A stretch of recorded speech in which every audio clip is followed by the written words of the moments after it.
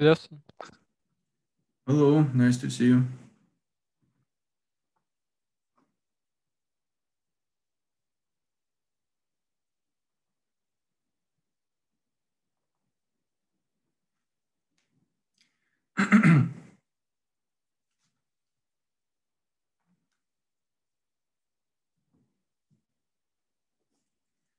okay, so let us summarize shortly what we have already learned about magnetic field. And uh, initially we started from the effect of magnetic field on uh, moving electric charges. Uh, then we um, defined how uh, magnetic field is created by uh, some electric current flowing through a conductor. Uh, in particular, one of the model which we considered is a long straight um, wire. Then we considered also how uh, two long straight wires are interacting, which are carrying current are interacting with each other uh, when they are placed in close proximity to each other. Uh, so we considered the magnetism in matter, like the origin of permanent uh, magnetism or uh, induced uh, magnetism, like ferromagnetic materials, paramagnetic materials, and also uh, diamagnetic materials, which are actually all substances uh, just very weak effect diamagnetism, uh, which results in the reduction of external magnetic field. And if, uh, in addition to diamagnetism, some materials possess uh, ferromagnetic or um, paramagnetic uh, features, uh, then these diamagnetic features can be neglected because they are much weaker than the other.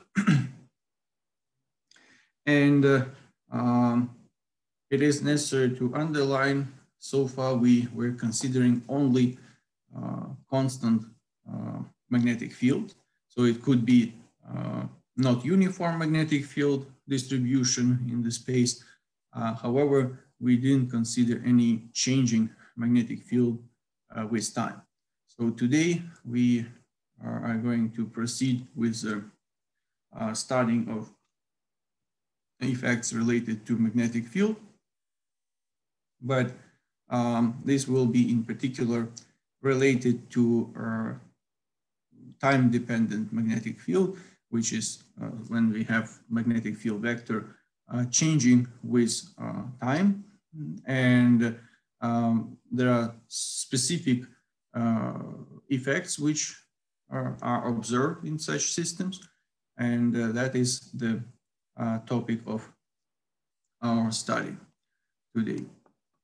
So let me share my screen for the beginning.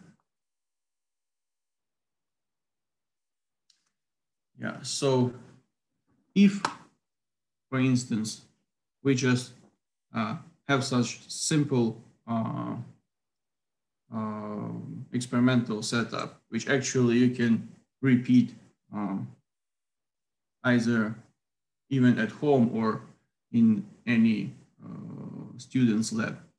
Uh, so if you connect some wire, may loop, maybe better several um,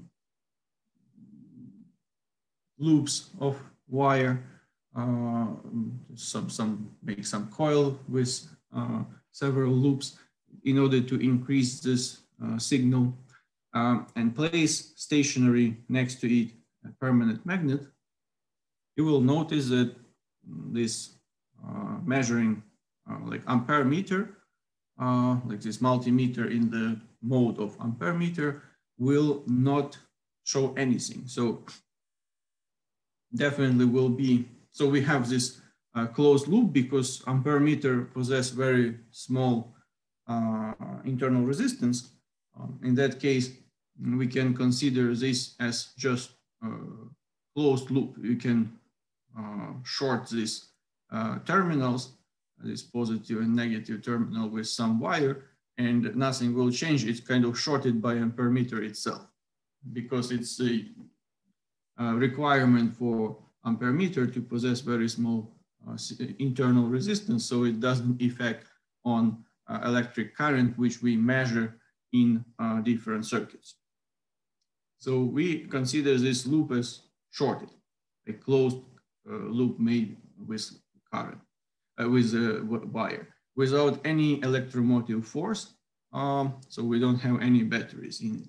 So obviously we don't have any current uh, and uh, this magnetic field, it is there. So we have certain magnetic field flux uh, through this loop because uh, magnetic field vector is not equal to zero next to this loop, but uh, nothing is going on. However, once we start to move, for instance, if we move uh, closer to the loop, this uh, permanent magnet, uh, we see some current and this particular direction of current, which for this loop is kind of clockwise direction, um, is uh, detected by ampermeter as a negative current. And then if we move our magnet uh, further from the uh, loop, we see some positive current flowing through it. So it's kind of very interesting effect because um, we do have current, which we can detect with the ampermeter. So it's objectively, uh, experimentally measured um, quantity of electric current. However, we don't provide any uh, electromotive force uh, for this. So this without any um, we don't provide any battery, but since current exists and this wire possess certain resistance, it's very small, but uh, it uh, does have some resistance, um, we definitely need to have some electromotive force in order to drive these um, charge carriers across the or, uh, along the uh, loop and create electric current. So this electromotive uh, force is kind of called induced electromotive force. And this effect um, of in creating, like inducing electromotive force and um, some inducing uh, currents in closed uh, loops uh, by changing magnetic field next to it is called Faraday's effect. So this is very important effect, which um, has found very broad and important applications in engineering and science. Uh, so we will talk about them in more details a bit later. And uh, first of all, uh, I would like to highlight the uh, and explain a bit a very simple uh, setup, experimental, experimental setup, which was used by uh, Faraday to um, investigate and show this effect. Uh, so here we have some iron um, uh, core structure and uh, two coils. So we have one coil, which are electrically not connected to each other. Uh, this is very important. So uh, one coil uh, is connected via some switch to a battery. And another coil is just uh, connected to ampermeter means it's just shorted on itself uh, without any batteries in uh, inside. So when we have open uh, switch, um, nothing is going on. Uh, there is no current. Uh, when this switch is on, uh, what happens? Definitely uh, some current is flowing through this uh, first uh, coil connected to the battery, which is defined by the electromotive force of the battery and uh, resistance of this coil. And uh, it takes some time to to reach the current value, uh, like steady state current in this coil. Um, and of course, while this current is increasing through the coil, um, also increases magnetic field generated by this uh, current through this coil. So this magnetic field is kind of um, concentrated in this iron uh, torque and uh, uh, also enhanced because of uh, ferromagnetic effect in iron. We know that um, iron is one of the classical uh, ferromagnetic material. So obviously, uh, then uh, there is some change in magnetic uh, field flux through the second coil. Uh, it was equal to zero initially when the switch was uh, open and after switch is on, um, it reaches to some steady state uh, value uh, for during very short period of time. Uh, and definitely there was some increase in magnetic field flux from zero to this steady state value. So because of this um, change of magnetic field flux and uh, change of the magnetic field in this iron structure, uh, we can measure some induced uh, like, like current in this second coil and um, obviously it is caused by some induced electromotive uh, force because of this uh, Faraday effect.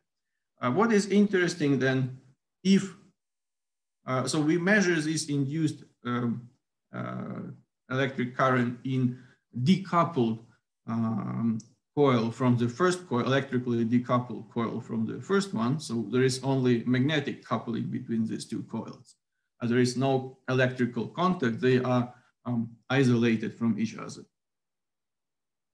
So after some short time uh, when this switch is on uh, and we saw some uh, current uh, flowing through the second coil was measured with this ampermeter. Um, there will be steady state condition when magnetic field will not change because um, in the first coil, it will be reached uh, steady state maximum current, which is equal to electromotive force uh, of the battery divided by the resistance of the uh, first coil, um, assuming that internal resistance of the battery is equal to zero. Um, then this magnetic field flux through the second coil will be also steady state stationary. It will reach saturation and will not change anymore. Uh, so then, of course, we will have uh, no change of magnetic field flux, no current generated, like induced in this uh, second coil. Once we open circuit, like this uh, switch off, uh, the current in the first coil. Uh, that will result in uh, reduction of electric current very rapidly from some saturated value uh, to, to zero and also will cause reduction of magnetic field um, flux through the second coil.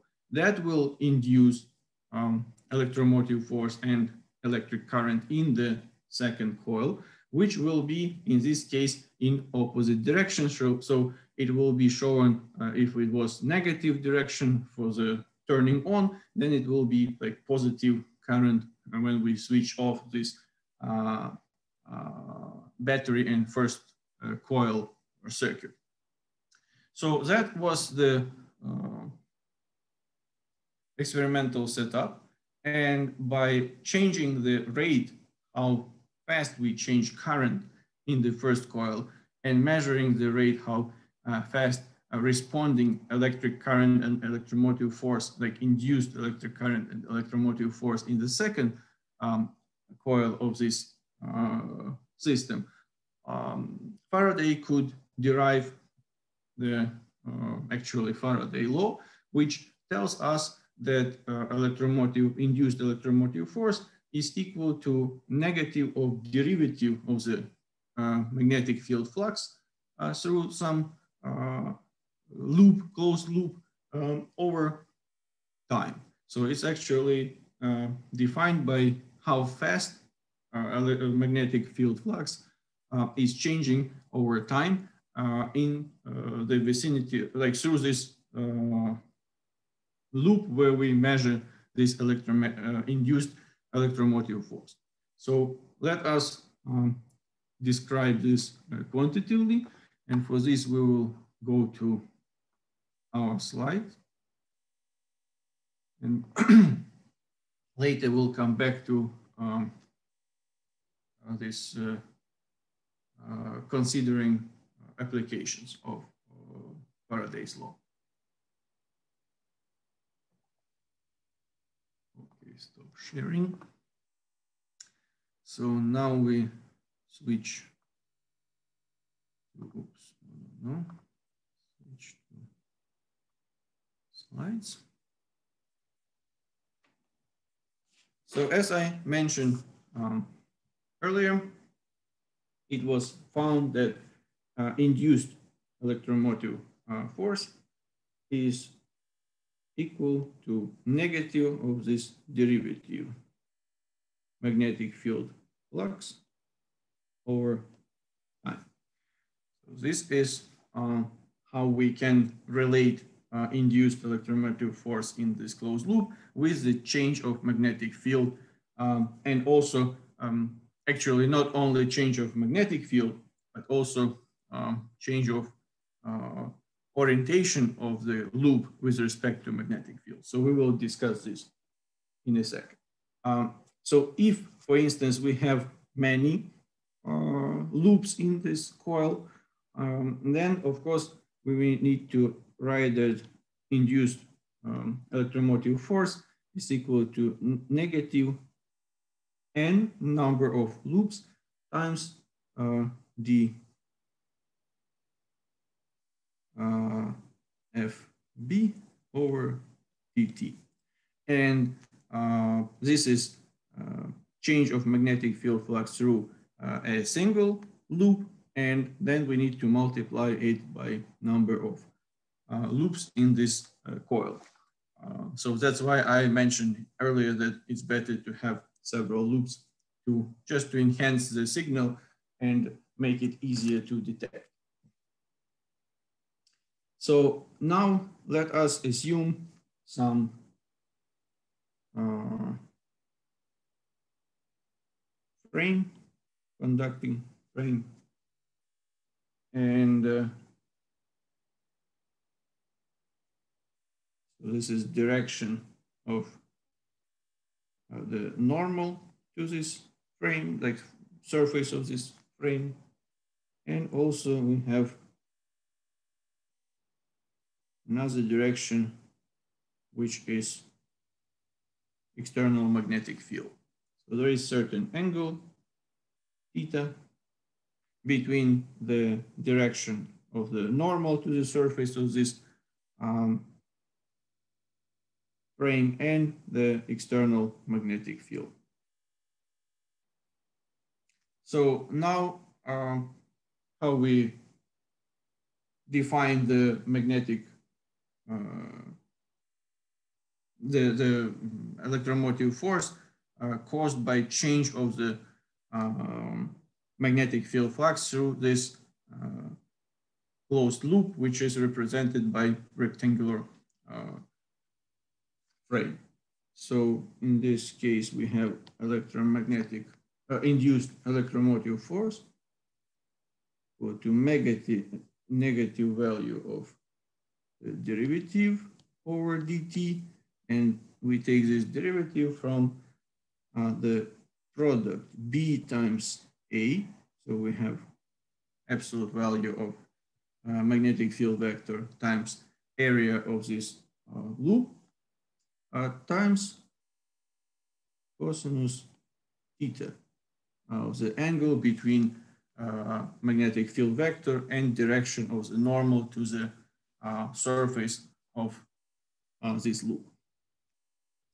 And from here, we can already see um, several options.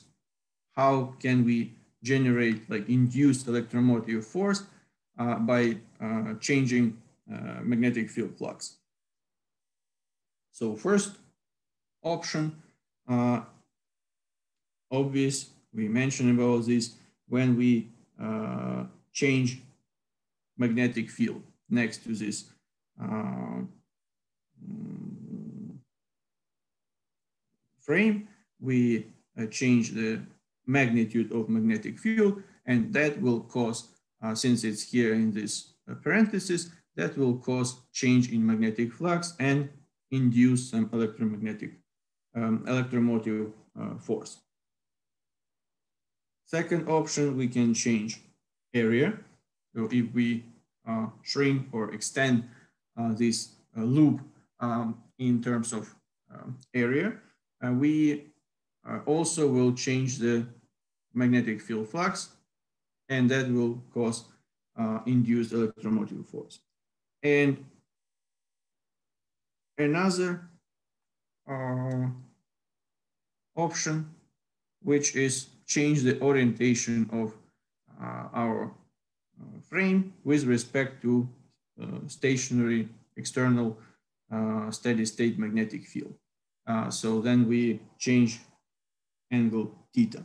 So changing uh, magnetic field and um, angle theta is the, so these two options, they are the most uh, technically feasible and uh, usually they are used for uh, applications because changing area is, so it's possible to do for uh, case of experimental uh, evidence.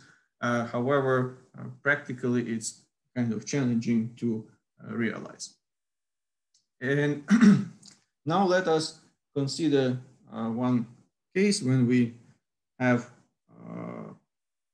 changing magnetic field with time. So we have such a dependence of magnetic field uh, over time. So this is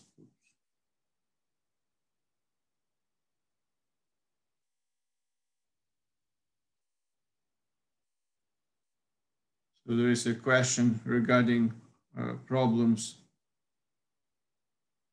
And we consider the problem that will come at midterm after the explanation of this topic. I mean, we cannot consider problems that will come at midterm, uh, obviously, um, because these problems should not be considered during lectures and during recitations.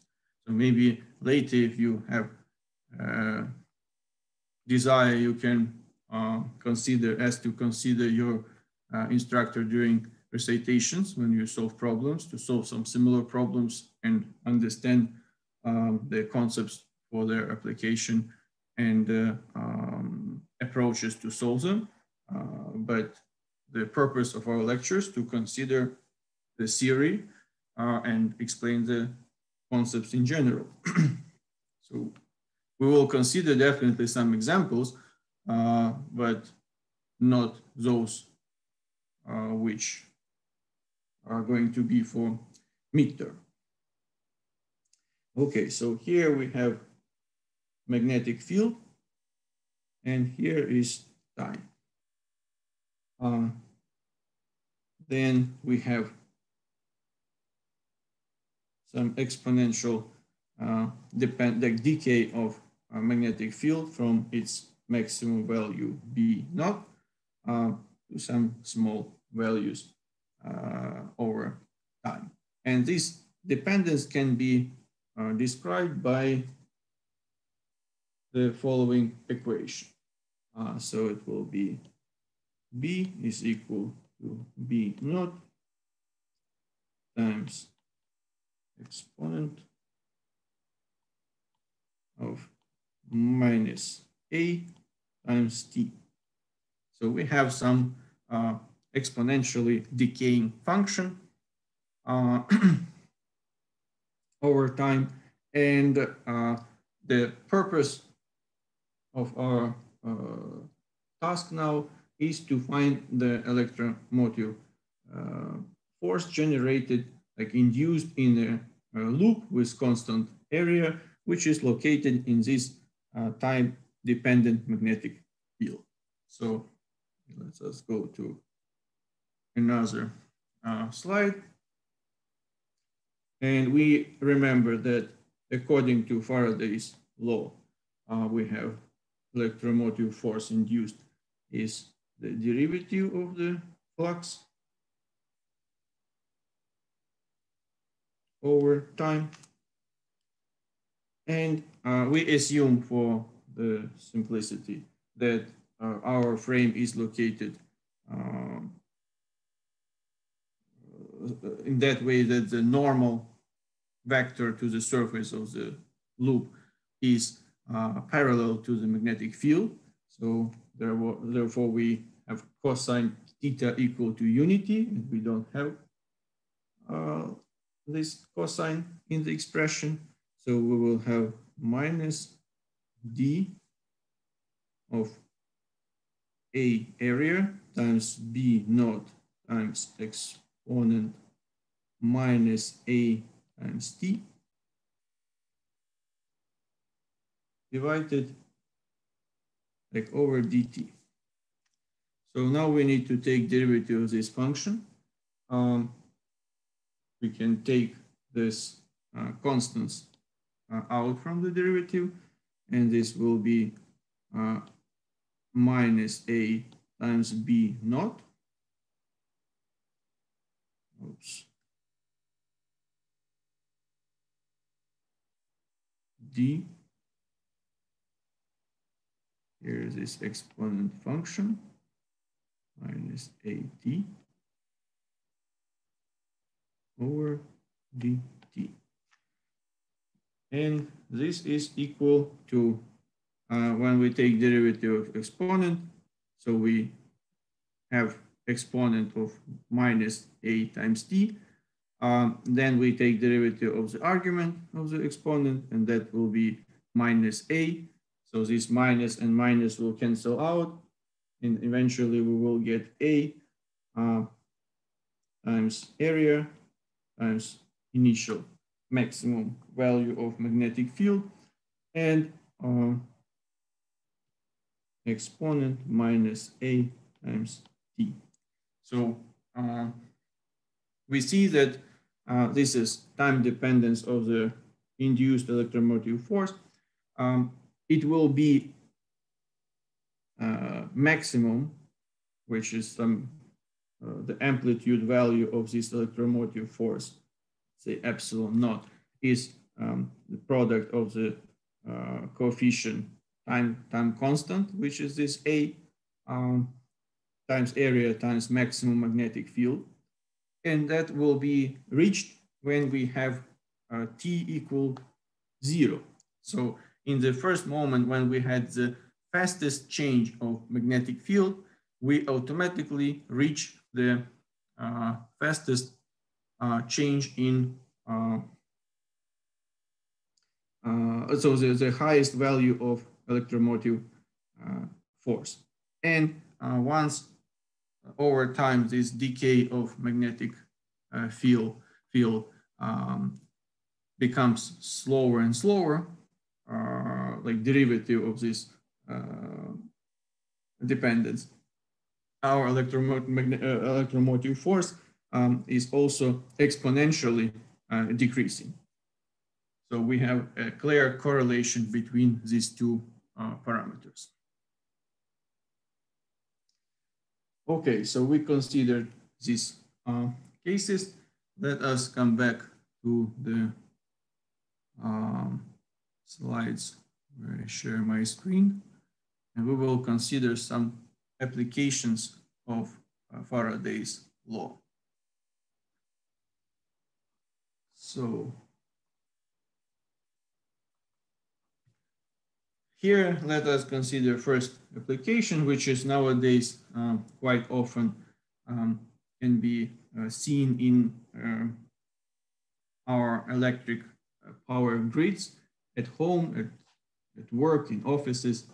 Um, so it's so-called uh, system for safety in our electric grid system. So we have some alternating current, which is uh, flowing in the power grid uh, and in wires, which are located in, in walls and which forms the power grid uh, in our uh, houses and offices. And what is important that if we have some wire which is where current is going in the apartment, for instance, uh, there is uh, also the other wire, like which uh, the, the other end of this wire. So we can consider all grid as just one wire, which uh, goes uh, through all uh, rooms and comes back to the setup which calculates the power we consume. Um, so it's the other technically it's at the end of the wire, which is uh, used to build our um, uh, home uh, electric network. And obviously, if there are no leakage of current to some, some unintentional uh, shortage, like short circuit or um, contact of metal housing of different um, equipment, then uh, the in, like this current which is flowing through um, conductor one and conductor two, they should be uh, exactly equal to each other. So if they are exactly uh, equal to each other, they are in different directions. So they kind of compensate each other. And that's why there is no uh, magnetic field flux, uh, which is uh, generated through this sensing coil, and there is no any uh, induced electromotive force which uh, can switch on the uh, circuit uh, breaker. So everything works fine, but then imagine that uh, one uh, of equipment, let's say we have some compressor in, in our fridge, this the isolation of its coil was damaged and it was it became in the contact with the housing of the uh, compressor and automatically with our fridge. So uh, in that case, our fridge uh, surface, like metal surface, would be under a certain potential uh, with respect to ground. And if, for instance, we want to uh, take some food from this fridge, we touch it, and since it's under some potential, uh, there will be some potential difference between your arm, uh, which is in contact with the housing of the fridge and um, the floor. And there will be some current flowing through your body uh, because of this situation. So it's obviously very dangerous and can be um, lethal if the current is uh, high. And that's why uh, such devices are embedded in the uh, electric power network. Because in this case, you need to, uh, current in the conductor two will be smaller than current in the conductor one, because it will be uh, current in the conductor one, subtract that current which flows through your body.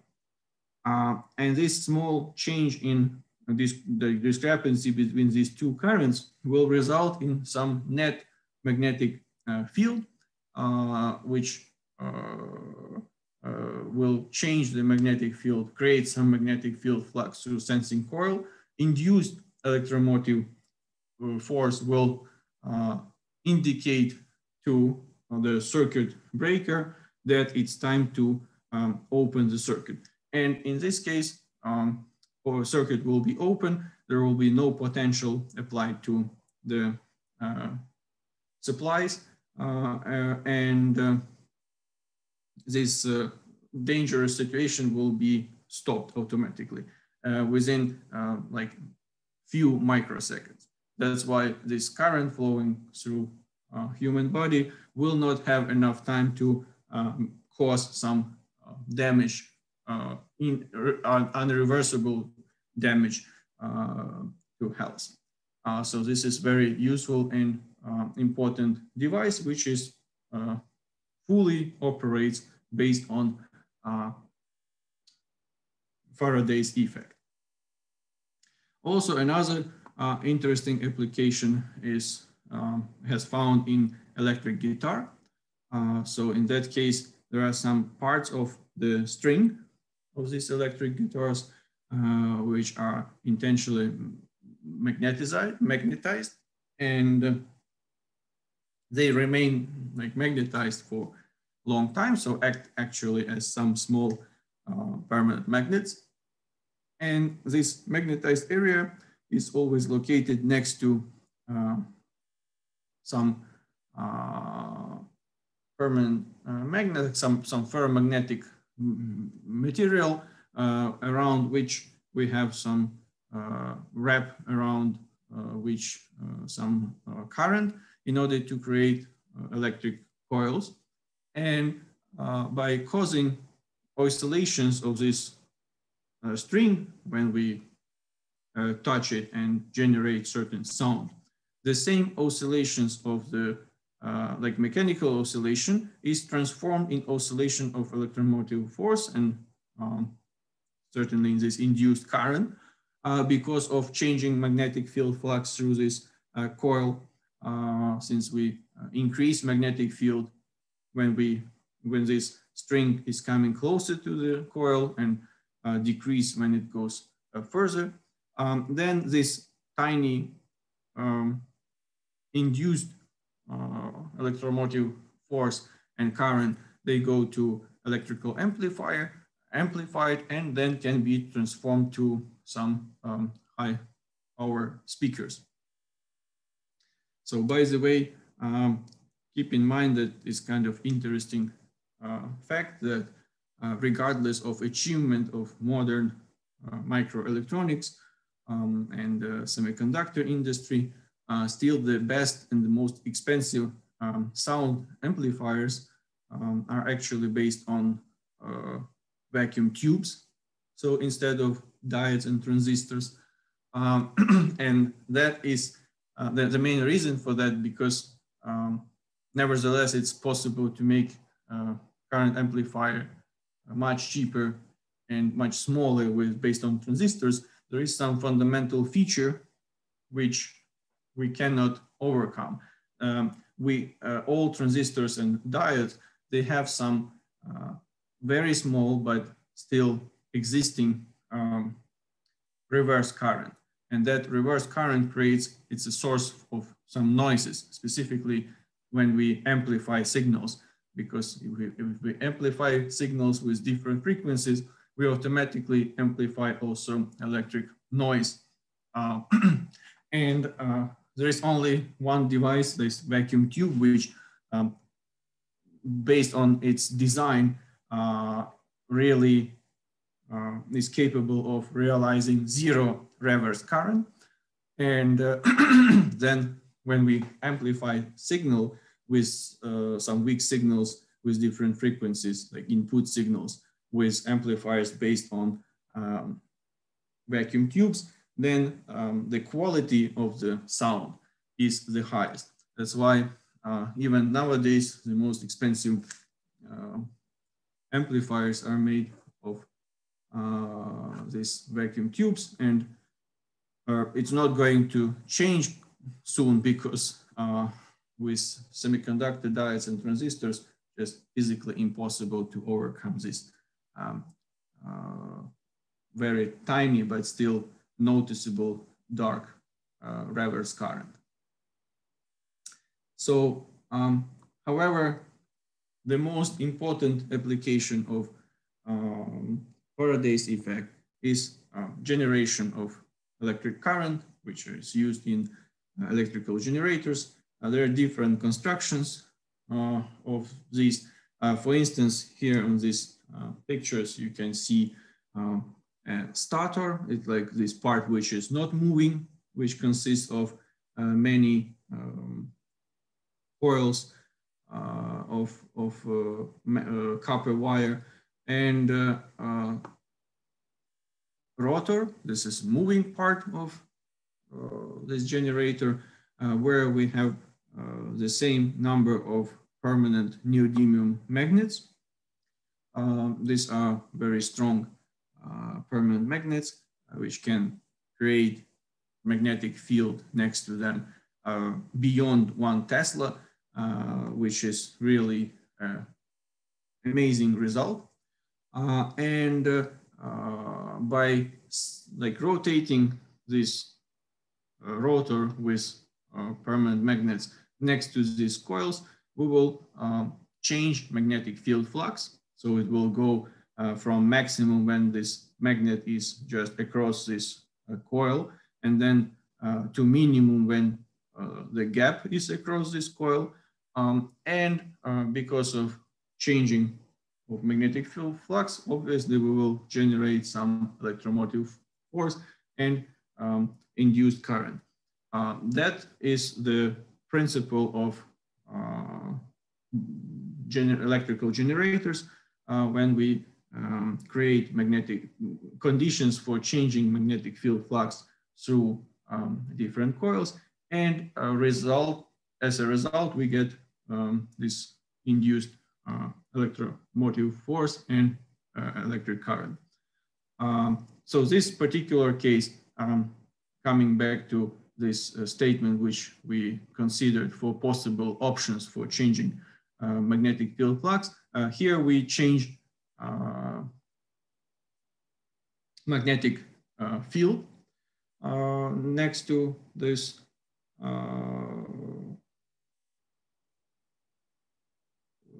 coils of the stator.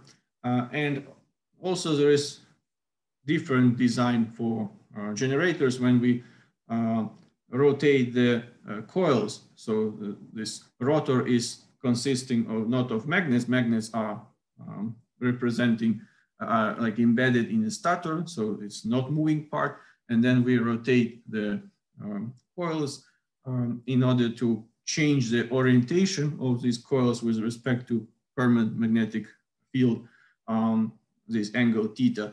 And uh, that is also one uh, opportunity for generating electricity. Okay, let us come back to our slides. And now we will uh, proceed further um, and consider some uh, motional uh, electromotive force. Uh, so let's say we have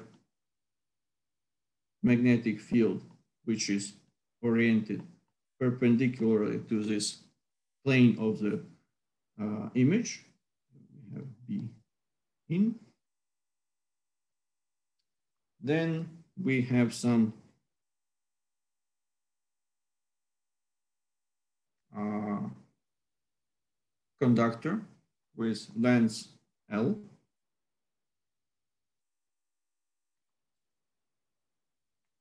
And it is moving to the right, perpendicularly to the uh, magnetic field with some uh, velocity v. So we know that, so it's some metal uh, wire. We know that in metal, we have mobile uh, electrons, which can move inside this material. And uh, what will happen here? So if we move this uh, conductor uh, perpendicularly to the magnetic field,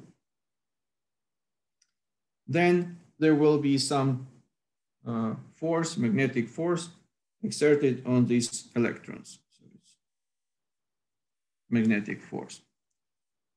Obviously, if there is some force, these electrons will be moved, like concentrated um, next to this uh, uh, bottom part of the conductor. So it will be, here will be created some excessive, uh, not compensated uh, negative space charge. And uh, since according to the electron neutrality principle, uh, there should be, uh, this conductor should not be, should not possess any net electric charge. Uh, at the opposite side of this uh, conductor um, should be created some um, space charge of uncompensated positive charges. So such uh, rearrangement of electrons in this uh, conductor because of uh, mm, effect of magnetic force um, on uh, electrons which uh, are enclosed in this conductor and this conductor is moving with velocity v perpendicular to the magnetic field vector. Are, there will be some induced internal electric field. And if there is some uh, internal electric field between this uh, positive, um, and negatively charged edges of the conductor, there will be some electric force acting on these uh, electrons. And this um, electric field will continue to increase to that moment when magnetic force will not be compensated by uh, electric force.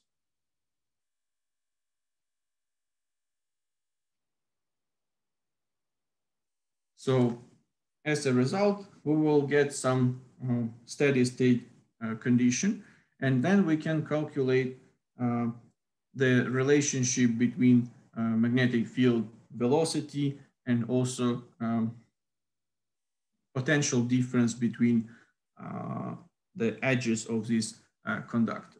So let us do it. So we know that magnetic field is equal to uh, q times a vector product of velocity and magnetic field vector.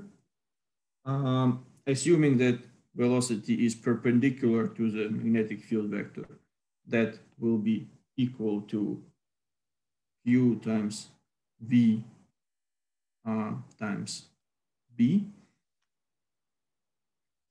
Um, let's put here absolute values. It will be correct then.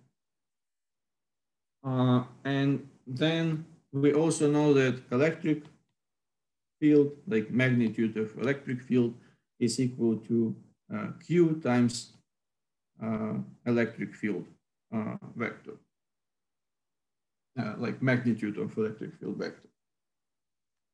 So now we can, um, we know that under steady state conditions, these forces are equal to each other. So we can write uh, that uh, Q times E is equal to Q times V times B. So Q we cancel uh, out and uh, we see that electric field, magnitude of electric field, in this case will be equal to um, V times B. So we also can, um, in order to determine the different potential difference, uh, something what we can uh, measure with a voltmeter, uh, we can uh, consider that delta V is equal to electric field times length of this conductor L. And eventually we get magnetic field times L times B. So this is the equation which describes the um, uh, potential difference at, between the edges of a, a, conductor which is moving perpendicularly to the magnetic uh, field. So I see that we already are running out of time. So um, we can continue next time maybe with uh, considering the uh, electric circuit made of such uh, moving straight conductor and uh, um, calculate some current which will flow in this system. And uh, afterward, we will move to Lenz's law, which will um, kind of give us explanation of this minus in the Faraday's law. so it will kind of explain us why we have this or not other direction of induced um, electromotive force and electric current. So that will be on Wednesday. Uh, if you have any questions, you're welcome.